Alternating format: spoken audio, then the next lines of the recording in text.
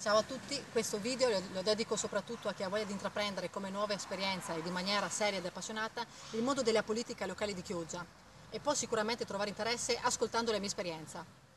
Da giugno 2015 mi sono iscritta alla, alla, Lega Nord della sezione di Chioggia e fin da subito sono stata molto attiva come sostenitrice, in quanto ho partecipato a tutti gli incontri di sede, gazebo in piazza, manifestazioni a Milano, a Pontida, presente a tutti gli incontri formativi pubblici, ho dato anche il mio contributo nelle ultime elezioni amministrative candidandomi come consigliera comunale.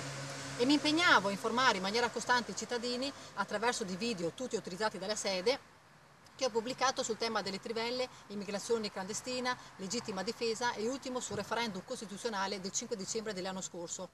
Video tutti presenti su Facebook e YouTube. Giusto per la cronaca e per il mio punto di soddisfazione, visto l'impegno che ho profuso nel realizzarlo e senza fare riferimento di partito ma da semplice cittadina e partecipando anche a più di 10 incontri formativi quasi tutti lontani da casa, il video sul referendum che ho realizzato ha avuto oltre 20.000 visualizzazioni e commentato positivamente da molti esponenti politici della Lega, ad esclusione di chi? Dal direttivo di sezione di Chioggia, che invece cosa decide di fare? Consegnarmi una bella lettera di richiamo senza alcuna firma, invitandomi a sospendere ogni attività riguardo il referendum e convocata a rapporto per comunicazioni urgenti.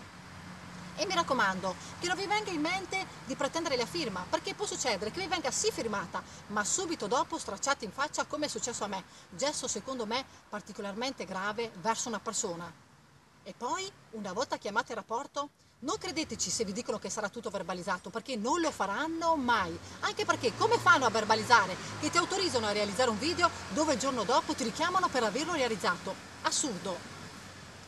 Bene, dico, eh, ho continuato con le attività di sezione, gazebi e altro, fin quando arriva il fataccio. Che non vi venga in mente di essere magari ehm, a Venezia e di trovare il tempo di assistere come semplice cittadina ad un consiglio regionale come una sostenitrice ultima arrivata che si permette di assistere ad un consiglio regionale. Cosa facciamo il giorno dopo? Sospesa con un semplice messaggino WhatsApp e in seguito raccomandata di avvenuto depenamento dal libro di soci datato 31 marzo scorso senza specificare alcun motivo, quindi di fatto è espulsa dal partito. Bene, dico faccio subito ricorso al provinciale, al nazionale, arrivando perfino al federale non serve a nulla, se hanno deciso così è, respingeranno anche il vostro ricorso continuando a non dare i motivi.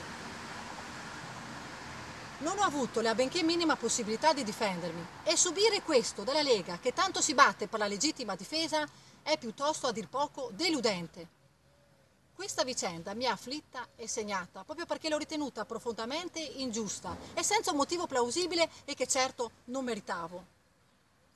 Quindi un consiglio a chi ha voglia di intraprendere un impegno politico, non metteteci troppa passione, non trascurate troppo la famiglia per le attività di sazione e anche priva privatamente, non siate troppo uh, visibili sui social, non siate troppo presenti e visibili nella vita sociale, magari anche nel fare volontariato nelle strutture solidari della città o che ne so, manifestare eh, assieme al comitato no GPL per il bene del paese. E se magari siete donatori di sangue da 23 anni, che non pensate di candidarvi come consigliere Avis, no, non si può, perché anche questo potrebbe essere un motivo per essere depenati dal partito, anche se è tutto assurdo.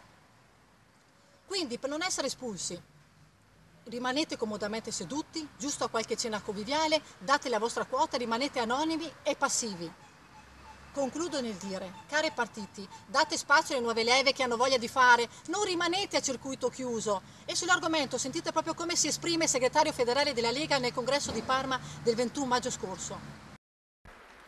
Una riflessione sull'interno della Lega.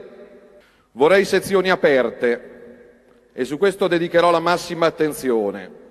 Se ci sono le stesse sezioni che dagli stessi vent'anni vedono le stesse cinque facce, vuol dire che in quella sezione c'è qualcosa che non funziona. Vuol dire che stai tenendo fuori qualcuno che magari potrebbe portarti via il posto in consiglio comunale in comunità montana. E quelle sezioni non servono. Aria nuova. Magari se tutto questo fosse rispettato. Ciao da Laura Doria.